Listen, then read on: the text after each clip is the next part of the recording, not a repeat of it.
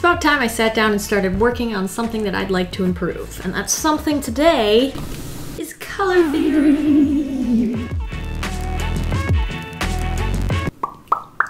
That thing. If you've been here a while, you've probably heard me mention it numerous times whenever I decide to actually use color, because it's just something that I can't quite grasp. I've improved, but I have not grasped it yet. And for that reason, I thought I'd take a little time and work on it. I actually have taken a little bit of time already and watched some more videos, maybe for the third or fourth time, about color theory, trying to just retain some of that knowledge. Now it's time to actually see if I have and uh, see what I can apply. So I'll just draw myself a little uh, character we can start this off. Now I'm thinking what might be the best way to start is either end up drawing like the same thing over and over again, maybe. Depends how bored I get. But I think if I start maybe grayscale and just focus on the tones and values, because if I can't get the tones right, how am I ever going to get the hues right? How will I ever get the hues right? You know, hues. And the more shapes that overlap each other, I think the harder I usually find making the color scheme work because you have so many overlapping tones, values, and hues. So I don't know if I should try and start simpler at first or not. Oh well, we'll just figure it out along the way. it's about improvement, not perfection. Now color theory is important for every single part of your drawing, including hair color and skin tone and the outfit, everything has to mesh together, which is one of the reasons it's so difficult, is because it just includes everything. And I have heard that uh, markers are one of the more difficult mediums to like get decent color theory. And so I thought for a second maybe I would try watercolors for this, but then I realized I use markers most of all. So I'd kind of rather just learn with markers. That makes sense. Try not to make this too complicated, but at the same time, don't want to not be proud of it either. Looks like a lasagna noodle. Before we start adding color to this, we do need to swatch out some colors. Step one in color theory. Some I'm I'll just get to some neutrals. I also have some Copic markers. These are all neutral grays. They've got some juice in them. So, tones, tones, tones. When it comes to tones, you don't want two that are too similar next to each other. So, let me swatch these guys all out before we even bother adding in hues and getting really confused. So when I color, I usually like to pick a skin tone first and then work from there. More recently, I have taken into account like whether it's a cool skin tone or a warm skin tone, but I'm not sure I've done anything else but that. and I think if I actually colored the outfits first and then picked a skin tone that complemented the outfits, you have more freedom to use a more exciting color. But obviously with grays, it's not as big a deal. So I'm thinking, thinking, thinking, this is where I get a little nervous. These two grays are very similar, our cool gray 00 and our neutral gray number 0. So maybe we can use these in conjunction with each other. And if this works out, we'll try and use the same pattern of colors, I guess, in our next illustration, but start incorporating more hues. I don't know, I'm kind of just winging it as I go. I'm thinking I'll go to the slightly darker the Who one for layering.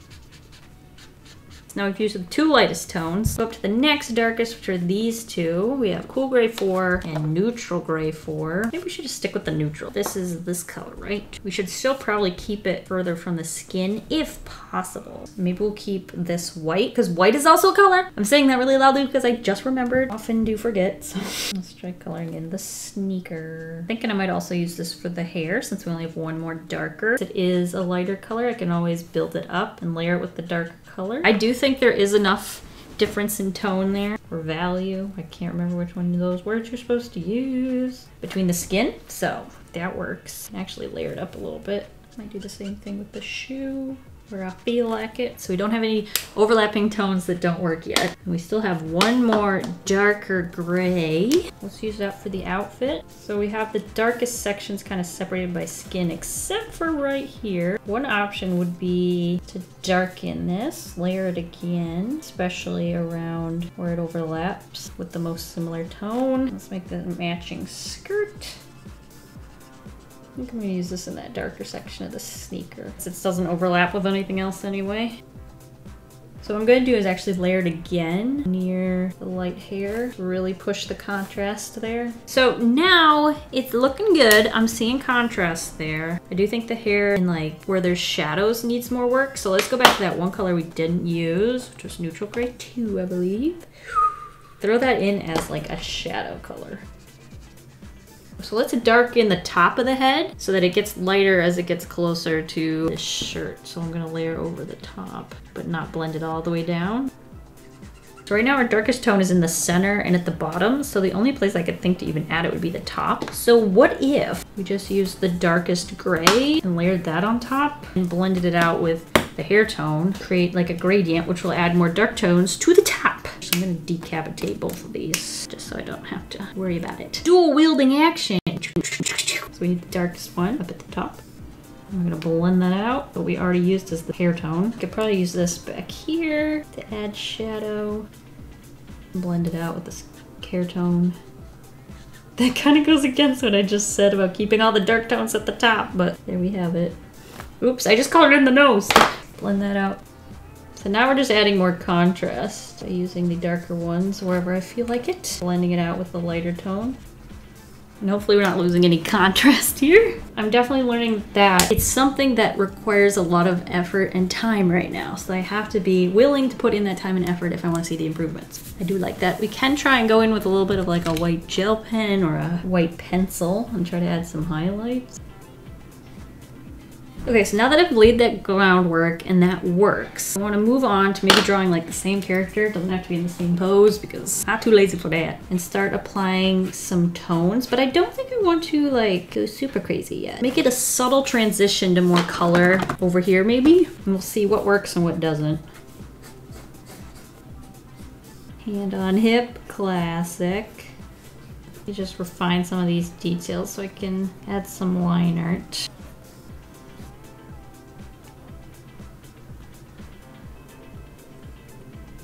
Okay, have that little hairpiece stick straight up. So this time I want to try and incorporate a few colors. And since these grays are all very cool in tone, let's use a cool color maybe, like purple or blue. Tahitian blue. It's a magical place. Ooh, that is pretty. Let's just see if it works because I don't actually know if that's gonna work. Let me try layering it on top of this. What do we want to be blue, folks? Why is hair the first thing I think of? Let's so far start same way we did the other one. So the plan is to not lose any contrast, but start adding in some hues. This one I'm just gonna add in the one hue. But not lose any contrast. Say it out loud. Let's not lose any contrast. I already want to just add a little like blue eyeshadow. I'm thinking layering this color with this third. No. Yes. Yes. This one. We use neutral gray 4, which is similar in value to this blue. We get this color blue and see how different those are? So we can use that instead of, I guess the shoe color maybe? Layer it first with the gray. And layer that with the blue. Then we could actually probably use this straight blue color for the laces. Don't know if that fits into what I'm trying to do here, but I did it. We could probably layer a little bit more blue where we want it to be darker. So we're adding in some tone and saturation at the same time. Ooh, okay. There is definitely more contrast in this gray and that gray than this blue and that blue. So let's try going over it with that same gray. Just bump it up a notch. See if I do it in small places at a time. It does seem like it kind of helps. That's not bad, but let me try going over it with the blue again, just to blue it up. Now this is white here, but I feel like I could get away with just coloring it in blue. Well, we'll leave it for now. It does look a little muddy, but let's just carry it through and make our final assesses, final assessments mm, when we're done. I use the darkest for the outfit. Kind of thinking about just using blue for that, like without anything else. Ooh, actually that might work. There's more similar in tone already, so let me just do that. Now I don't want to use gray on that blue because I don't want it to get less saturated as it fades into the background. So I'm thinking if I get a cool blue, you'll notice this is not a warm blue. Well, actually it is a little bit of a warm blue. Shoot. Okay, this is the one I want. This is much cooler. Let's layer over it with our blue again. We can blend it out a bit. All right, I don't really like the way it shadows, but I have to embrace it for this particular drawing.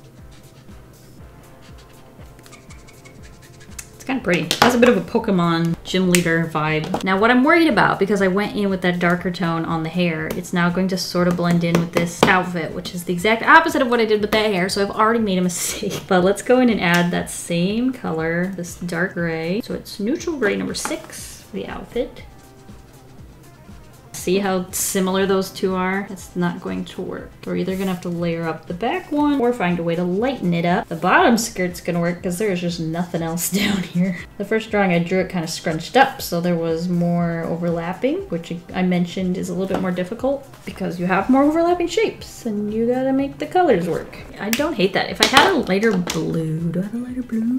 Ooh, this could work. We could use this for a little blush to bring the blue into this light gray color. Go over maybe the whole thing.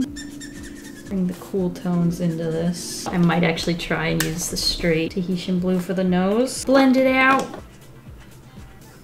Well, we'll let that dry a little because if it's still moist, it's gonna bleed out, just like watercolors. And let's use the mid-tone blue that we have for the kneecaps and blend it out. It's not the juiciest light blues. Might take a little effort. It's one of those ones I kind of need to refill. So this is the most exaggerated cool skin tone you could probably get. There's ways to incorporate that into a more natural looking skin tone. So that's something I'll have to gravitate towards as we move over blend out, come on. So I do think we're losing a little contrast here. One way to solve that might just be using straight black on this. This is also the only place where we haven't used blue yet. So I might just layer it with our darkest blue. And let's just see how that looks next to the mid-tone blue mixed with our darker blue. We'll just see how these layer differently. Because when it comes to markers, it really comes down to how you layer. Oh man, I like it better already. I think I will take this, go over this dark section of the sneaker. Ooh, ooh. So now we have an analogous color scheme that includes an actual hue. I think with the next one, I'd like to incorporate a second color. See if I can pull that one off. Because this one did seem a little iffy, but I kept working at it, and now I feel like it works really well. Let's try using this on the lips. Is darker blue. Basically, this mixes the grays and the blues to create a pretty cohesive color scheme. And what I would normally have just done is just use the blues, which does that actually not work? Because this works really, really well. I'm very happy with this. I feel like it looks better than most of my marker drawings. But is it because of the grays? Or is it not? Let me just draw like a little miniature version of this and use just the blues, see if it actually looks worse, or just getting really lucky here and things are working out. I mean, luck still isn't quite it because I am thinking about my choices very strongly. Let's just see. So basically I'm just going to take these three blue colors and layer them the same way they're layered here but without any grays. They definitely look different. I don't know if I could definitively say one was better than the other. Okay, okay. The one difference is definitely that's a little bit more saturated than that one. But I do think this one has a bit more impact. Just the use of the gray specifically in the outfit and the shoes creates more contrast than this one has. It is an analogous color scheme and those are one of the easier to get away with as long as you make sure you use similar blues with different tones. So let's move on to adding in maybe a secondary color of some kind. So if this was analogous, we could go with complementary. This might take a couple tries because complementary color schemes are very difficult. I want to like lean forward with our hands down like this. It's not the most flattering pose. Bit of a poop squat. Okay, this one may be a bad idea. Just, I don't know why I'm making the pose more difficult. Maybe we'll just leave that and we'll move over here to draw another standing pose very simply just so we can really focus on the colors because I think with that one, I'm not worrying about the right things. I want to have my mind mind totally focused. Her outfit's really not anything special. I wonder what I could change about that. Maybe squash up the sneakers a little, make them a little bit more deformed. And maybe it's got some kind of like design element that can use the two colors that we're going to use. And if we want to kind of keep that curvature, what if we like add another one here? And then that's the slit. I'm keeping that element a little uh, lasagna noodle and I put it in the ponytail. now let's try and add a third third color. Well, it's technically a second hue. We're gonna go complementary. The opposite of blue is like yellow orange. What we definitely need to do is just make sure that the yellow takes up as little surface area as possible so it's just like an accent color. So I'm thinking for like this, since we have created three shapes here that can be different colors, we can use like the blue, a little bit of yellow, and then like the blue mixed with a different gray there. Let's try and just do all cool because I think that's supposed to be the next easiest. So let's put away these yellows. Let's do analogous. So if we use purple and blue and then we mix those two, we get this color, and that's our analogous color scheme. Let's see if I'm learning anything. Use a light purple. Let's use a really saturated blue down here. I'm mixing it with the yellow. Oops. Right now this looks like a jacket I had in the 90s. So then for this mid-tone, we could use white, but I want to use the same color we used here. That way it actually looks maybe like a continuation of the same character in some way. Yeah, it's just a lot of saturation going on. And I think toning down one of these colors is going to make a big difference. So memorize what this looks like. Doesn't look bad. It looks fine. There's contrast between all the colors, but I do want a little contrast and saturation as well. Like the purple is a little less saturated, so I might go over that with a brighter purple. That's too dark. Is this dry? Dry! I'm just gonna layer it with this pink. So I'm mixing Heath with Viola. I'm gonna take that dark neutral gray 6. I don't think we need to layer either the other ones with gray. I like them being more saturated. Now for the skin tone. Oh, we could use like the ice blue, but then use purple over top of it to kind of warm it up a bit because the purple's closer to the warmer tones. Let's use that ice blue color. Pale porcelain blue. That's really pretty name for that color. Try to use that really light purple. Heath just moves it slightly in a warmer direction, but I'll layer it again with the blue to tone it down so it's not too crazy. Do the same thing for the ears, mixing between those two, toning it down a smidge. Kneecaps. Now we're not using this for shading. For shading, we want another blue, or we could use another purpley tone. Okay, I don't want to add too much purple. I think that is moving in the purpley direction here. I want it to be more of like a, mm, just a little, little hint of purple, but we did blend it in with the skin tone, so that does get our mid-tone there, which should make it analogous in the end. Let's use mid-tone blue for shading, kind of like we did there. Oh shoot, that's the wrong one. I wanted this guy. You want to mix the grays that are similar in value to the blue that you're using or color that you're using specifically. Definitely separated it from that blue. We're still using a lot of markers though, so I don't know if I'm not quite grasping it as well as I would like, but I'm getting good results, so I'm gonna keep going. Let's color the hair exactly the same as we did it there because I love it. It looks fine. No need to mess with something that ain't broken. Basically, we just colored in with this Tahitian blue. But this one I went darker on the bottom. I like how saturated that is without like any gray. Okay, looking at them next to each other, I don't think I layered that with any gray. I do want a little contrast between the back of the ponytail and this next hair section. I'm not quite getting it right now, so this might be a good opportunity to bring in the gray color, tone down the saturation and create contrast that way. So the closest gray, neutral gray 6 is actually what we used there. So maybe I'll pull back one more. I don't know if this is going against everything that I learned, but I'm I'd like to not mess it up. Oh, this does make sense. I'm glad I went with this one. Make it a little bit more blue and less gray. I do wish I used less dark blue on the bangs, because I guess I didn't do it there, even though I thought I did. I think I just layered it again with this here. Did use this for like eyeshadow. Let's mix the purple with the blue for the sneakers. I think it'll be smart to add a little bit more of the mixed color if we really want this to look like an analogous color scheme. So layer our two mid-tone purple and blues. I'm leaving the blue on top because this drawing is very overwhelmingly blue. I will leave this purple. Actually, there's not enough contrast there. Shoot! I don't want to darken up this purple because this color is already darker. So let's go over that with our darkest gray. Just really bump up the contrast. We can go over it again with the purple maybe. Actually, I'd say it's probably on par with that. Maybe just add some white details. Ooh, like it already. Okay. Do you think we need more purple? Something like this. Just darken it up a smidge since there is room to grow. Pumps up the saturation. Blend it out.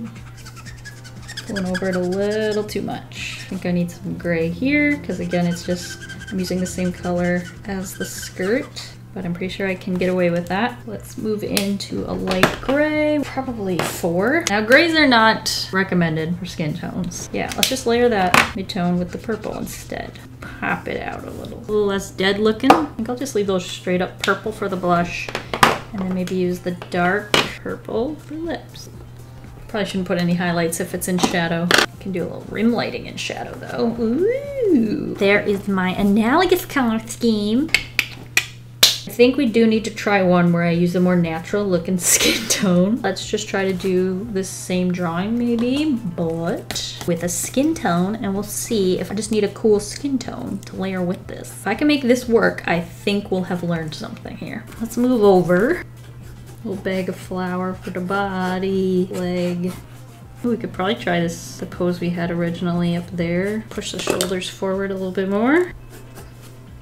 I'm gonna give her some earrings just to add some more shape contrast. Just create a big shape for the hair. Basically, I create a big wobbly wobbly and then I chisel away what I don't think is necessary anymore. And if like the whole thing seems unnecessary, that's when I'll erase. And then that, so the purple that I was gonna use for the scrunchie, maybe I'll include in the earrings. Since I wanna draw the sneakers, I'll pull them down this way. Make sure it's the same size as this foot, roughly. Now because this leg's coming this way, I feel like this leg needs to go back a bit more just to make it look less robotic and chunky chunky. This knee needs to come forward a little. Make it more like, like it's pressure. I do think this has a bit of this going on where it's just focusing on the wrong part here and I'm very sweaty. Something about it feels like it's man spreading. Just doesn't suit what I'm looking for. I think I just want to keep the legs more dainty, especially since she's just wearing a skirt. I guess that's one of the biggest reasons why. It's not the slouching that's the problem, it's just the legs, I think. Ooh, but with this pose, can I draw that design on the shirt or will it get lost in there? I have to make this work at this point. I've come too far. Now this is gonna require some shading to make the pose work because there's a little bit of like foreshortening and such. Oh, you know why she doesn't look right? She doesn't have the little hair swoop go. Straighten out the back. Yeah, these take a little bit more time to figure out. Just want to elongate the torso. This little noodle here, cylinder thing, is a leg. The foot will be coming out from that in the same angle. She's sitting in that really terrible way that preschoolers aren't supposed to sit because apparently like damages their posture for life, but whatever, it's art. I'm forgetting that part of the butt is behind this, and so I was trying to draw like the full length of her thigh there, but that doesn't make any sense now. There comes a point where I've got to just let it go, let it go to college, and live with the consequences. I've done what I can, it's time to let it fly. And try again on the next child. Just add some line art then.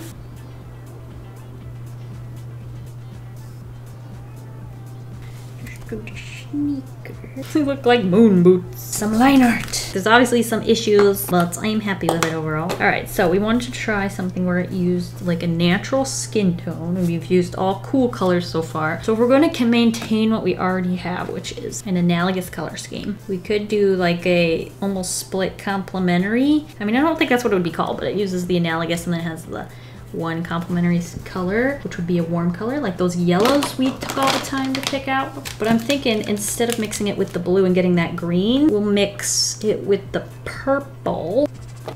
What if we just use like a generic kind of skin tone that's on the cooler side, like ash rose? Don't tell me you're dry. Anyway, something on the cooler side, like um maybe an ivory. It's a bit cooler than like straight up yellow. We could even mix it with our pinky purple. That looks doable. So I just have to make sure that this is like the only yellowish color that we use in here so I don't get too overwhelmed. It ends up being more that split complementary sort of thing. Let's continue our luck of not creating characters that look like Barf. Yay! Let's do everything we know already. I don't think I need to change anything but the skin tone. I think that'll be our difference here. This mid thing is the darkest blue, the darker gray, and I went over it with a little bit of purple afterwards. Continue that shape. It does need to connect though, that's how I drew it. Look how lazy I got with the hair. Before I at least added a squiggle. There I added a bunch of squiggles. This has just ended up being one blob. Now I don't think we need to incorporate any gray because it's not really overlapping with other sections of hair in any way. Probably do a little gray, maybe back there where there'd be a lot less light. And maybe right here at the top, why not? Number four. I'll go over it again with the blue just to make it look a little less gray. Bump up the saturation a smidge. Now I didn't use the dark blue up at the top here because I thought that was a mistake in the last one. But I will use a little just to separate that piece. And then I guess the earrings. I'm worried because earrings are a similar tone to this color. Maybe I'll just do like this and then blend into the lighter one. We could just darken up little more. This marker's getting dry already. It was so juicy at the beginning. And then we need the purple. Try and copy that because I think it turned out all right. This was like the blue and the purple mixed with a gray of some kind. I think I went purple on top of that again. I think I'll use that lightest blue since we don't use that anymore, just so they're not white because boring me including the sock. Why not? Lastly is that skin tone, which I think I was mixing this and this. Let's see if it works. Basically, it's keeping it cool, but we're also adding a complementary color. So let's layer it first with ivory. Technically, it should kind of fit the color scheme still, but to make it a bit more cohesive, we're gonna throw in a little purple on top. Hopefully it'll look a little less gross. I'm not sure if it's a, the not working as a color scheme as much as I just really don't like color. What do they call it? Ivory? Manila folder. Don't get off till five. I could it up with a lot of names for this color. So let's go for that with our purple. Basically it takes the purple and adds yellow which makes it more pink. Which in the end isn't actually the color scheme I was going for. I also don't really like how desaturated it is. So it fits the color scheme, but I still don't it. Some blue eyeshadow. Should we still use blue for blush? That doesn't really make sense though, does it? Could use, what's the closest to red we've got? Purple. This works for maybe shading, but not really blush. Blend it out it does look cohesive. And that is what I usually fail at. So I think I am leaning in the right direction here. Obviously, we only kind of worked with one color scheme, so it would be interesting to try this again with completely different colors, maybe more warm color scheme, and see if I have actually learned anything. But yeah, let's use blue for shading. This is really risky blend out that color a little. I think it went a little too blue, so I'm gonna go over it with the yellow maybe, cancel it out. We're using this for blush blend it out. Obviously it's getting a little muddy here. Basically just layered so much over the skin that the skin ended up pretty dark. So I think I just grab a gray, bring that down here just to darken this color. All right, hey, yeah, worked. It all comes down to not giving up too early, I guess. I want a little bit of shading on this light color, so let me grab a light gray. There's no one marker that's gonna do everything for you. I don't know if I explained any of what I've been doing, but I watched a video and I'll link it in the description by Zoe Hong. It's all about capturing a color scheme with marker specifically, which is something I think I've needed for a very long time and I finally bumped into it. I have her to thank for this, so that was awesome. So far, I am enjoying what I've learned. I am very, very happy with this. Now let's stick with the purple lips.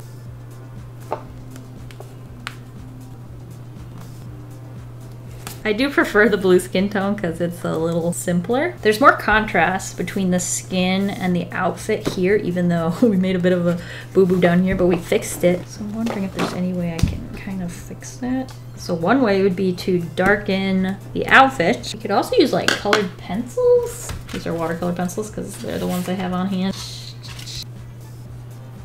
I thought it would bring like a little saturation into the skin, which it does. I think our biggest problem is just this purple color. The option would be just change it to this darker purple color instead of this color. It'll be this color. I think I will go in with the purple though. Also, use the white. Just kind of do what we've done with the other ones. What color did I have in here? It's a little pinker than I think I need. Got a little seam. I'm thinking I'm gonna grab the blue out of this, the darker one. So now we're kind of moving away from markers, but once you go so dark, you can only do so much.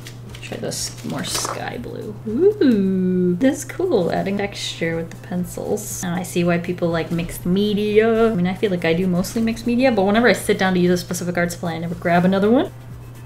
What happens when you go over a watercolor pencil with Copic marker? Ooh, it just kind of blends out. Can kind of like just blend it out. Maybe just add it to the blue side. just gonna go over it again.